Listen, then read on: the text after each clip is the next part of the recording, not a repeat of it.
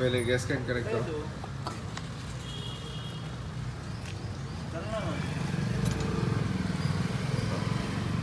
चालू करो।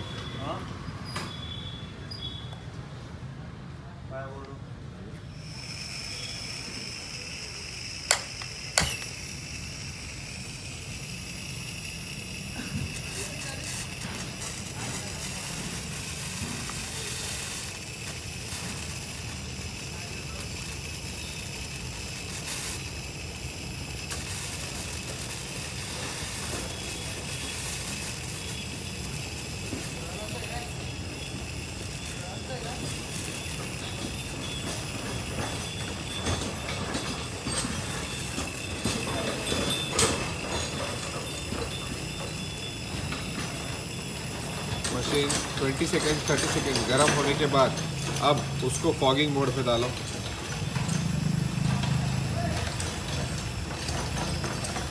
हाँ अब डीजल पंप करना चालू करो।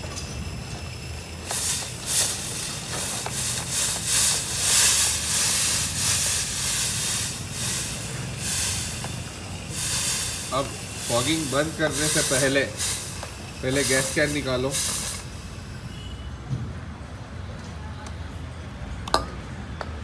डीजल पंप करते रहो।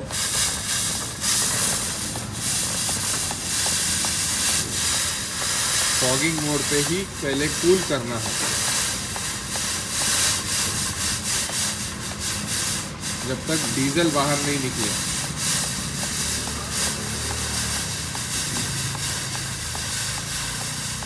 मतलब बेसिकली जब तक आपका, जब गैस बर्नर चालू है वो गैस ख़त्म होने से पहले आप अब ये डीजल बाहर आना चालू हो गया है। अब इसको कूलिंग मोड पे करो। अब कूलिंग मोड पे करने के बाद पानी पंप करो।